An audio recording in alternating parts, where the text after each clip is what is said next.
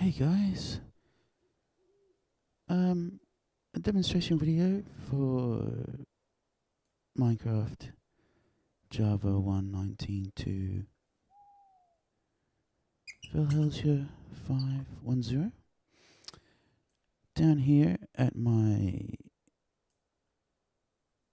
new attraction, Bet's Tea House at midnight. Very nice. We have a beer garden. Of course, we have our mandatory signage. It's mandatory for our Jay's Fish Shop and our Ted's Hardware. Blacksmith. Ted's Blacksmith. I shouldn't say hardware because that's actually a thing here. Um, anyway, so you can go inside and it's um, an implementation of my vending machine interface with um with some tea brewing and apple pie crafting equipment. It's um I thought this might be a simple test to implement my uh, interface that I recently developed for a vending machine. We've got stuff in there already. Black tea, yellow tea, and apple pie. So, so I have to remember that. So, anyway, so um, I've been testing it. I forgot to clear it for this video. Oops. But anyway, we will persist. Uh, green, oh, green tea. Okay, so what we can do is place an order. We want to modify our order. We will have pie. Pie is the only pie that we have.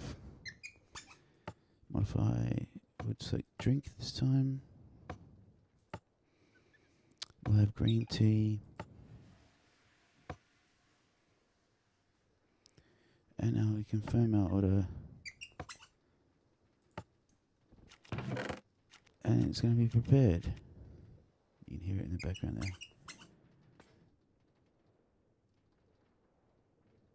There's an apple pie, and there's our green tea.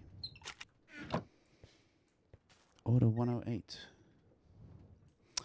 Okay, so there's a few tricky things about this. The kettle is difficult to automate. I've looked at that before. You can only um, put things in certain ways, and I've used the computer, of course, to and attach it to a modem, so I can control the inputs completely.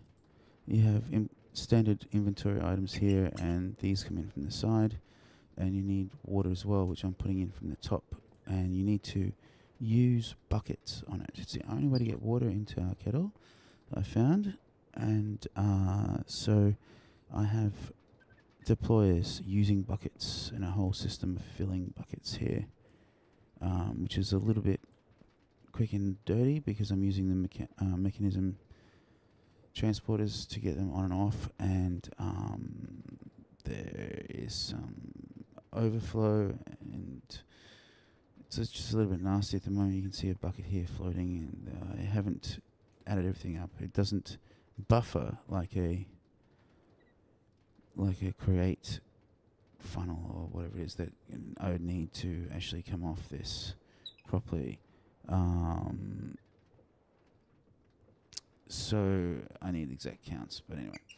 And of course, um, I have the crafter connected to a modem as well for the apple pies. Um, the interface for the um, vending machine is rather complex. It takes as much space as the other two machines. It is enormous, really, but that's the best way I could do it to reduce it down to these buttons for the interface. I've already gone over that in another video, but um, um, here is the service machine, the computer, and the monitor and the modems connecting it together. It has to be away from there. I can't. Well, it, it has to because I need the redstone signals as well uh, to control it. So uh, it's kind of stuck with having to be out there and all this like this laid out like this. Um, anyway, um, it's still not too bad and it works really well. Um, I think I think that's about all I want to look at in this video. Um, I don't. I was thinking I might cover the code, but um, I've already looked at it in the investigation, the introduction video, and it's probably really not that significantly different. Um, in fact, it's it's really not very different. It took me minutes to modify the code um, for each of the machines. I just had to have two implementations, two two machines running deliver, um, and instead of just the one, because um, they're operating two different machines. They just um, work on different uh, fields from the uh, older detail that is transmit by modem. And they both pick up the message and they both process it differently. Oh, well, much the same, but just um, different, differently depending on the values passed in. Um, yes, so that is what I wanted to cover. Let's go and have a look at the signage again. It's really quite pretty. Ooh. Betts. Betts Tea House.